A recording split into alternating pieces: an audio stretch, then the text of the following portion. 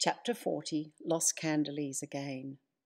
Darling hurried about with all the time fairies who'd stayed behind to help. They served more and more food until everyone was satisfied. Cheers to Darling and her crew, shouted Blizzard. Big cheers to Darling and her crew, added Angel. Everyone cheered. May I continue reading? asked Angel. I'm loving this. Great work, Toll and Jax. Toll and Jax stood up and bowed. The audience cheered them and then started shouting, More! Angel smiled. Here goes, she said. Chapter 40 Los Candeles Again. When Jax and Toll arrived back in Los Candeles with Dodger's dad, a soft sherbet snow was falling.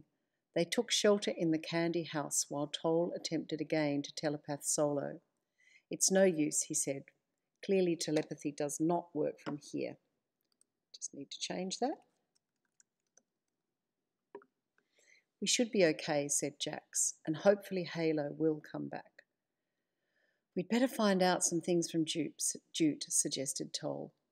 They began to question Jute in whispers, just in case there were any spies. Jax made him yet another megaphone by using a slither of licorice. How did you get here? asked Toll. After Isla's men took me away from Dodger and Dorrit, I was told that I was being taken to work in a virtual world. At first, I thought they were all nuts, but gradually I realized they were deadly serious.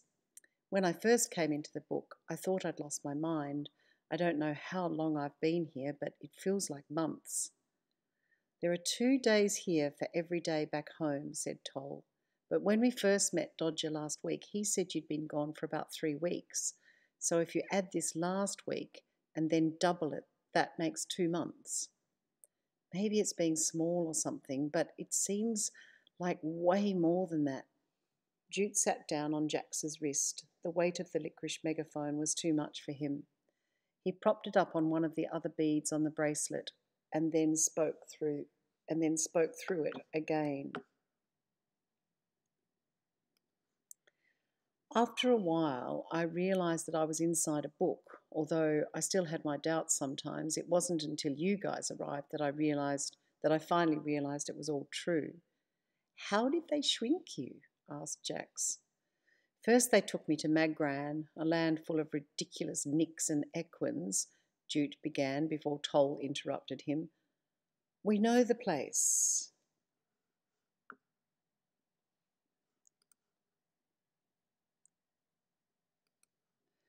I know the place, he said.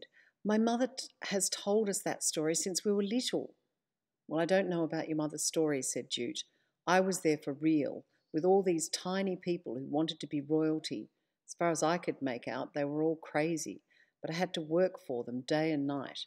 And there were such mean little things, always beating me or biting my hand or throwing things at me. After the first week, I got so cross that one day I hit back but it was a bad move. After that, I was locked up in a dungeon for days and days. When I got out, I sort of lost my nerve to do anything. Why didn't you just leave Magran? asked Jax. And go where? asked Jute. All my confidence had gone, and I think that's when I first started to shrink. I missed my children very much. It was so sad and so lonely there. Each day I just got a bit smaller. As if I was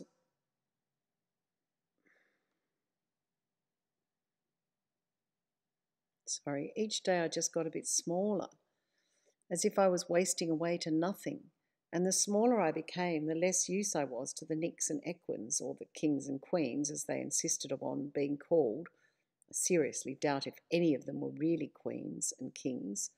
Finally, my heart just broke, and I reduced down and down to the size of about a two year old.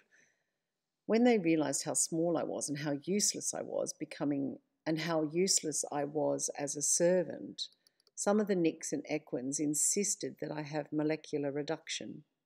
They said that I didn't work hard enough. I wasn't worried because I didn't know what molecular reduction meant, and I didn't think that it could be any worse than what had already happened. When I asked some of the kings and queens what, it, what molecular reduction was, none of them knew either. So a few of them called in a word expert And that was when this wacko called Humpty Dumpty turned up. Humpty Dumpty, Jax repeated incredulously. Isn't he the one who fell off a wall in a nursery rhyme? Yes, and he was also in the Alice books by Lewis Carroll.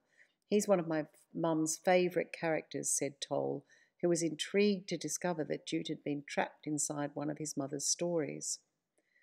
Well, well, he'd been trapped inside one of his mother's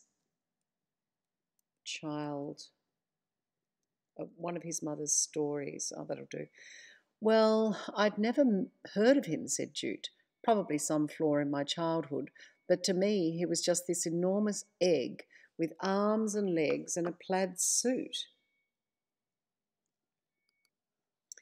Actually, after everything I'd been through, I found him quite terrifying because I was so small by then he seemed like a monster. He kept saying in a very loud voice that he could decide the meaning of any word. And on that day, he decided that having molecular reductions meant being me-juiced. And then he said that it meant being made very small before being turned into a piece of jewellery. Jax looked horrified. Jute continued, when all the Nicks and Equins laughed and told him that I was still far too big to become a piece of jewellery for them, Humpty Dumpty announced that being reduced meant being reduced to the size of a piece of popcorn before being used to make jewellery. And so before I knew what was going on, one of the Equins pointed a magic wand at me. As she did, I shriveled down to become a piece of purple popcorn, and I was threaded onto a popcorn bracelet. How cruel, said Jax with a sigh. What about Petrel's parents? asked Toll. Did you ever meet them? Petrel who? asked Jute. Shearwater, said Toll. Petrel Shearwater. Oh, she must be Storm and Palace Shearwater's daughter, said Jute. They were legendary around Magran. They'd been in some other land called Mathema. I think it's inside this book somewhere. But when they refused to cooperate, they were said to ma- sent to Magran. They were wild. I was far too small for them to notice me, but one of the queens was wearing me as a bracelet when Storm and Palace began working for her.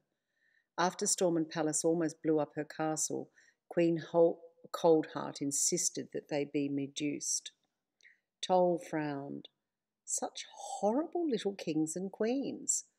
Awful, said Jute into his little megaphone. I never saw them again. So you don't have any idea about what became of Palace. You don't have any idea about what became of Palace and Storm? asked Jax. No. All I know, sorry, I just need to change that to no. All I know is that unmeducing happens in one of the cities in this place, but I've never been able to quite remember the name of the unmeducing city. Sometimes I can feel it on the tip of my tongue, but try as I might, I can't remember its name.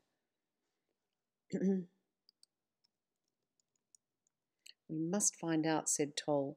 How else will we get you off this ridiculous bracelet, bracelet and back to your normal size? Suddenly Toll sat bolt upright. I remember what the city was called, he said. Remember? I had that dream on my first night in Los Candeles. That awful little creature was telling me that I'd never remember the name of the city. That sorry, an awful little creature.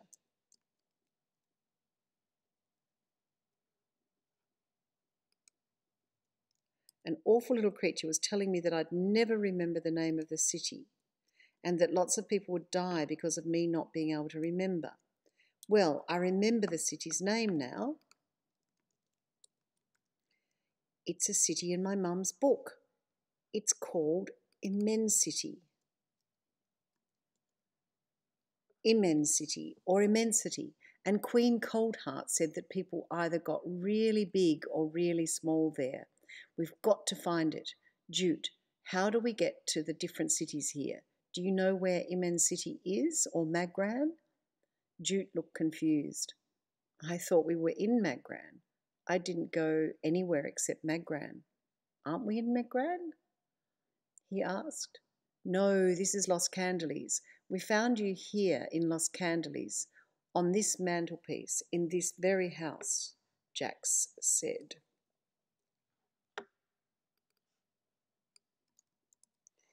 You must remember how you got left on the mantelpiece, don't you? Not really, said Jute. Queen Coldheart just put the bracelet up on the, her mantelpiece, and then the next thing I knew, you were putting me onto your arm. I thought I was still in Magran. Toll looked at the mirror above the mantelpiece. I wonder, he said to himself, waving his hand in front of the mirror. Look, said Jax, the mirror's becoming all silver and steamy. Just like in Mum's book, said Toll. I bet you just fell into this room, Jute, right through the mirror. And I wouldn't be surprised if Queen Coldheart's castle isn't directly behind this mirror. Oh, don't take me back there, begged Jute. She smells so awful, and I hate being strapped to her wrist all day. Hard labour would have been better. He's right, said Toll. We shouldn't take him anywhere near Queen Coldheart. Can you stay here and make sure Jute is safe while I go and try to find out where Immensity is? No worries, said Jax, glad not to have to accompany Toll. Toll, however, was not in the least bit afraid of what he'd find in Magran. He knew exactly how to deal with the puffed up little Nicks and Equins there. It was all in his mother's story.